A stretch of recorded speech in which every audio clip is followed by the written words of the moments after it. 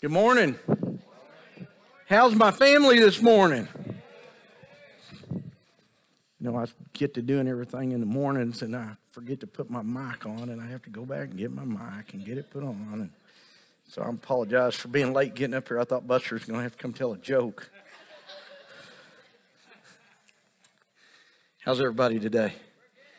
Beautiful day. Weather's nice. Been a little cool, but uh, you know, I missed you guys last weekend. Uh, you know, every once in a while I take a little time off so I can maybe refresh and bring you a more uh, uh, flavorful sermon each time instead of the same old thing all the time. So that's what I try to do. No fishing right now. I have a question for everyone this morning.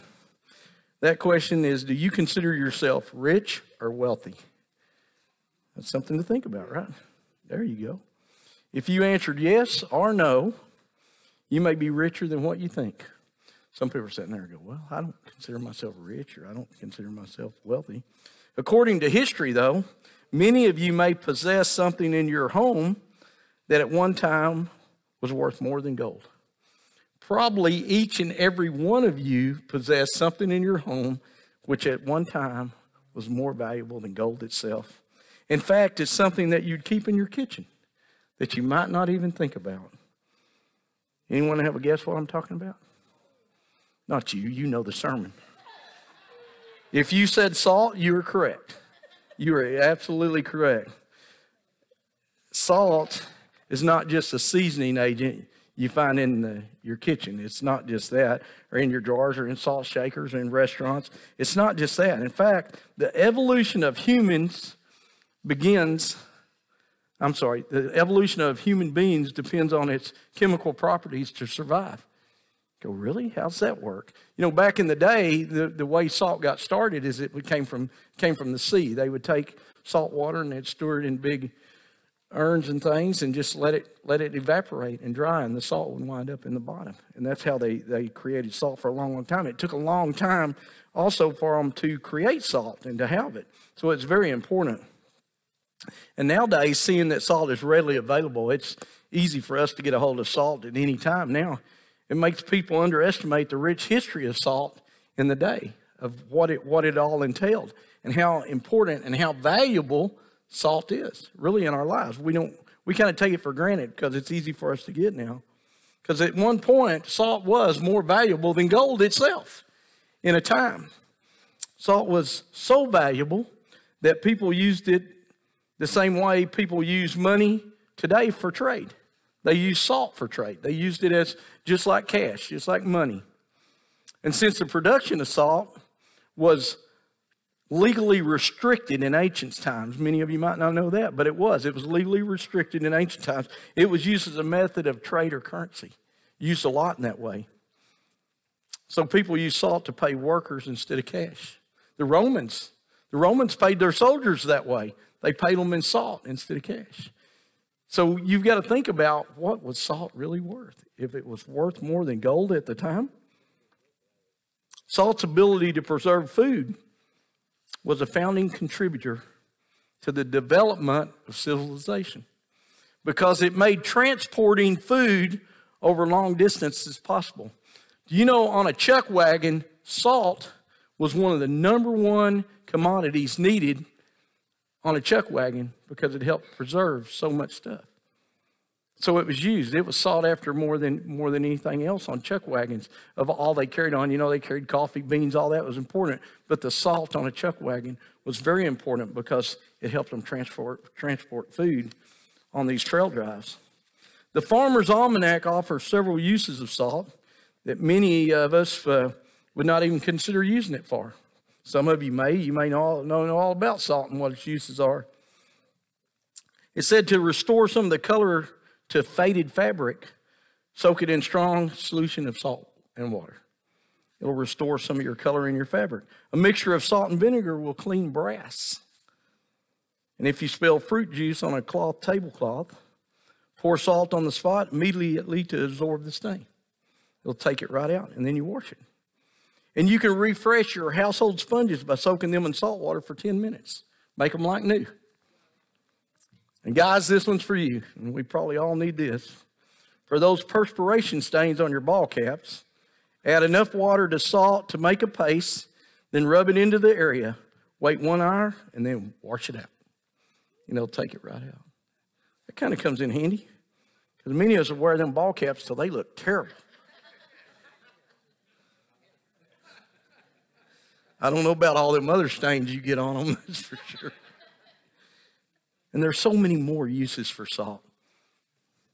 Most of us understand that without salt, sometimes the food we eat can be fairly bland or no taste at all. Now, some people say salt's not good for you. That's not true. Salt is good for you. Everybody needs salt and balance in your diet. Salt adds flavor, it preserves, permeates the food that it's sprinkled on, which causes a significant difference in its flavor. You know, ever ate mashed potatoes without salt or a baked potato without salt? Oh, terrible. It's bland. So whatever you added to, it gives it some flavor. It gives it a little bit of taste, right? As Christians, we should all know the importance of salt because it is referenced 47 times in the Bible itself. 47 times. Salt. Also, nowhere in the Bible is the word sugar even used. Even though we are called to be flavorful people, sugar is not used anywhere in the Bible. And my wife sent me this. This was cool. This is a text while I was working on this message. She sent this to me. It says, The church cannot be the salt of the earth if we keep sugarcoating the gospel. Amen. Right? This is so true.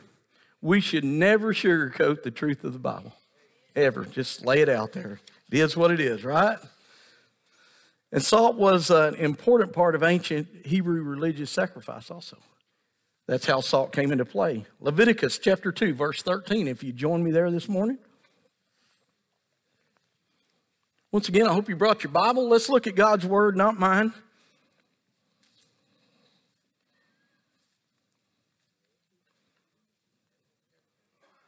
Leviticus chapter 2, verse 13. It says, Season all your grain offerings with salt. Do not leave the salt of the covenant of your God out of your grain offerings, and add salt to all your offerings.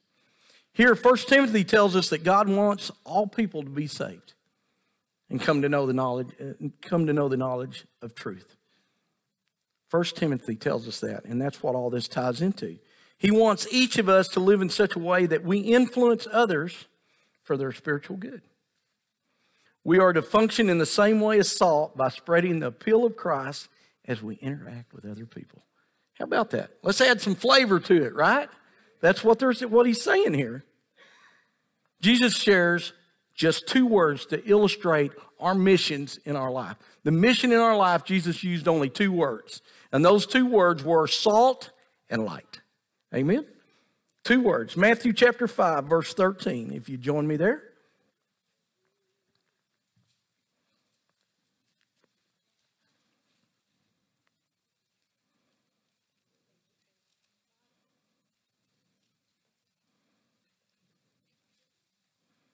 Matthew chapter 5, beginning at verse 13. You are the salt of the earth. But if the salt loses its saltiness, how can it be, be made salty again? It is no longer good for anything except to be thrown out and trampled underfoot. Right here in this scripture, Jesus warns us that the saltiness of our lives will decrease, be less, if ungodly habits and chronic sin render us tasteless. Think about that. We need to be flavorful, right? That's what he keeps telling us. So we don't need to lose our saltiness. And that's easy to do if we get caught up in the world and worldly things.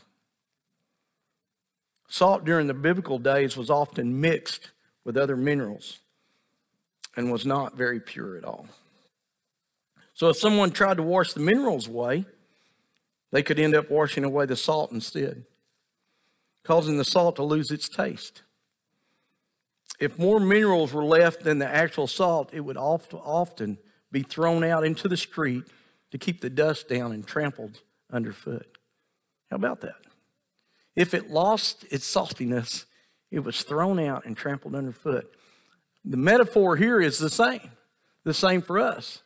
When we lose our saltiness for God, what good are we? What good are we? Are we just being we're just being thrown out, thrown away?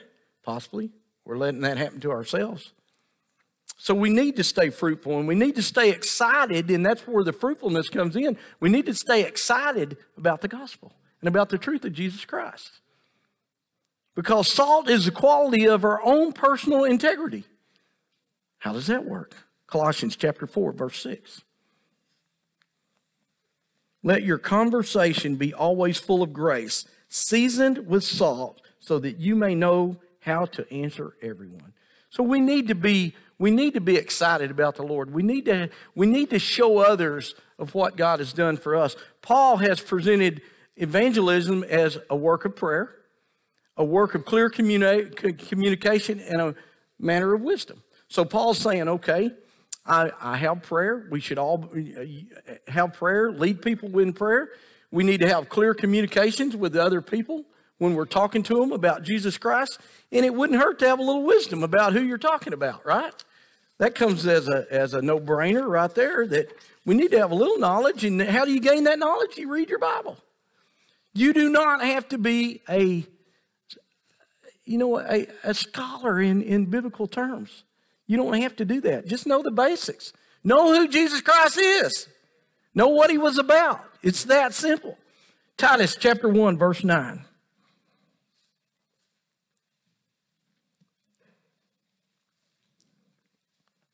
This little piece of scripture we use a lot to identify what an elder's role is or what a leader in the church role is, but this, this actually applies to everyone.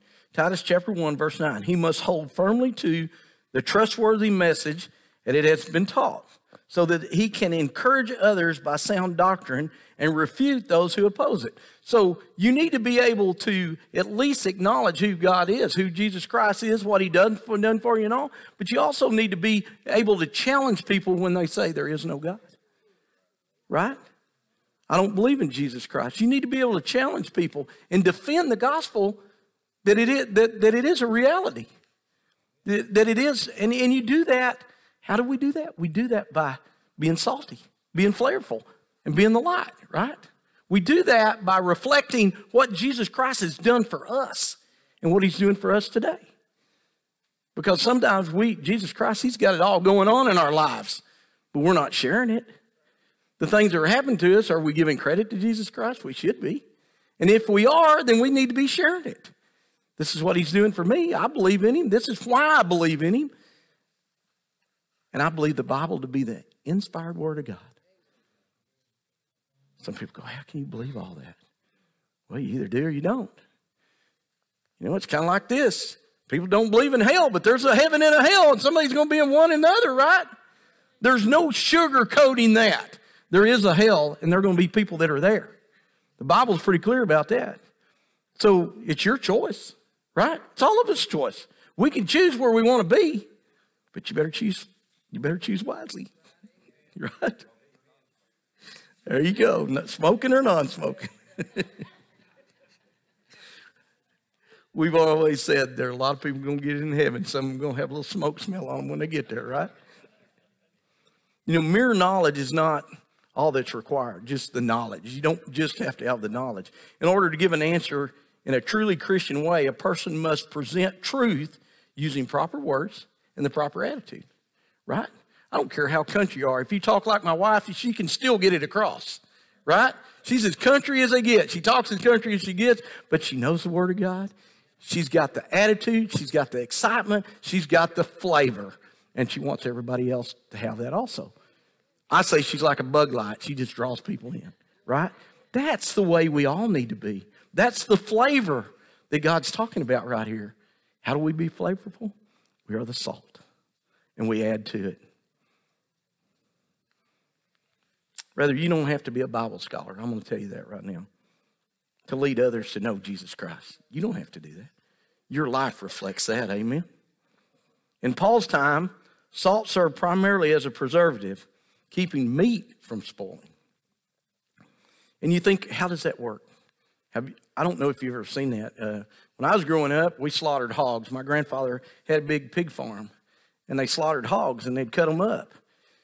And they'd cut up that meat and they'd salt it down and they just put it in an old smokehouse. They just put it in there. And I mean, there's flies, there's everything. There's, you know, it's no big deal. It's, but you've rubbed it down with salt and you've completely covered it with salt and it preserved it. And many of you that are my age or older, you know what I'm talking about.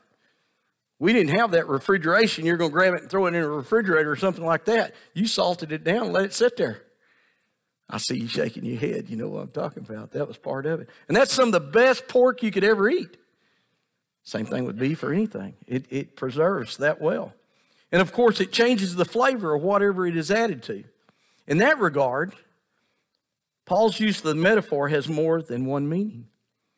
The believer's words are to preserve the message of Christ, helping it effectively reach as many people as possible. What a Christian says ought to add value to the conversation. Remember, if you don't have anything good to say, don't say it. Right? Everything you say should be uplifting to another person.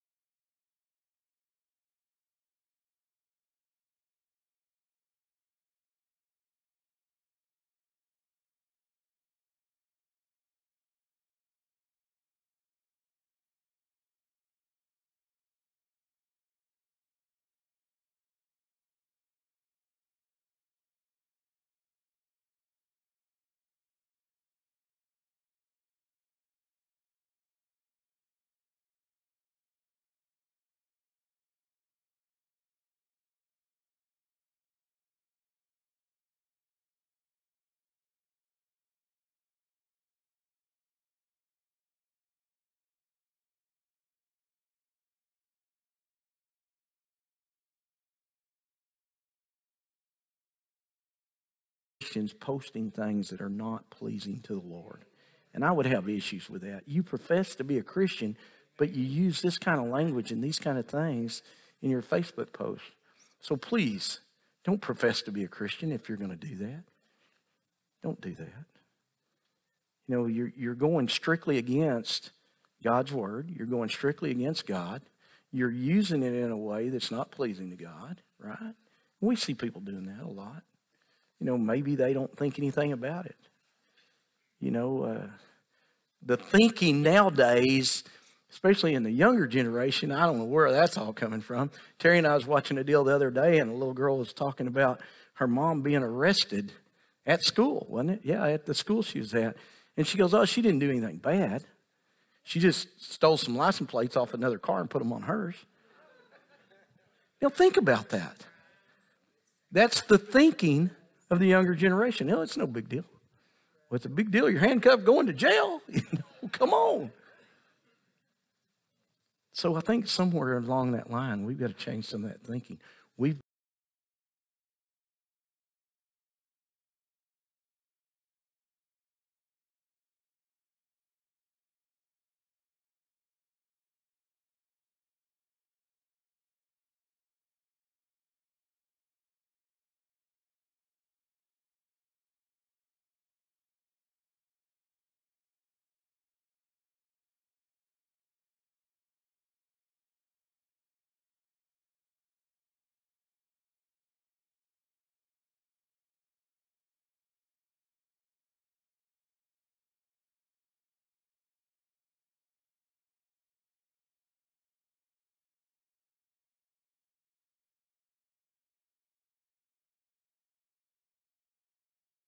And you made it all dark.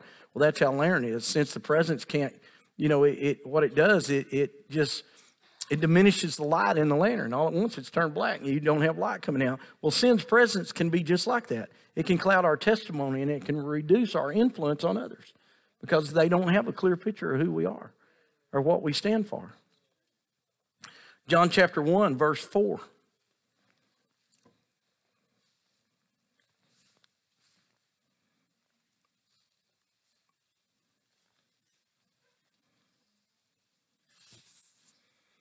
John chapter 1, beginning at verse 4. In him was life, and that life was the light of all mankind.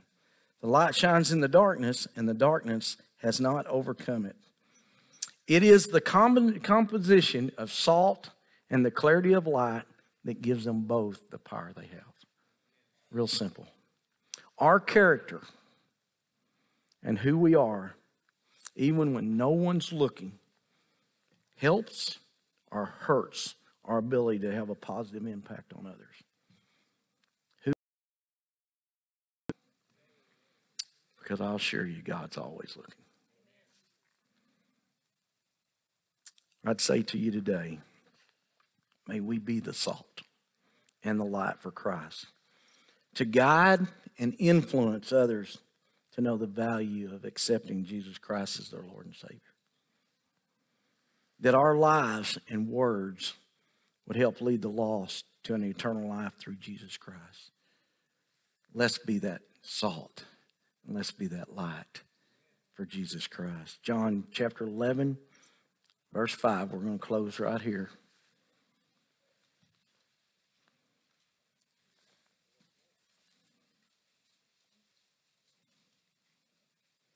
John chapter 11, verse 25. I am the resurrection and the life. The one who believes in me will live, even though they die. And whoever lives by believing in me will never die. Amen. Promises from God. Let's pray. Father God, we come to you this morning. We lift this beautiful day to you, Father. We thank you just for that. Father, we thank you for this your presence here in this building today. Father, we thank you for each and every one here. Father, that they've taken the time to come and be in praise and worship to you. Father, I pray that we all seek to be the salt and light for you. Father, that we would inspire others with our words and with our actions that would bring just happiness to you, that you would be pleased in the way we handle that. Father, sometimes we can fall down. We get into worldly things and we start following the world or we get beat up so bad that we just draw back and we start to lose that saltiness and we no longer are the light to others. So, Father, I pray that you protect us from that, that you protect everyone here. Father, that you would inspire them, that you would encourage them as you do through your word, Father. I pray that each and every one here that would take the time to open their Bibles and learn more about Jesus Christ. Father, we love you. We praise you. I pray today that everything we did was uplifting, glorifying, and pleasing to you. And we ask this in Jesus' holy and precious name. Amen.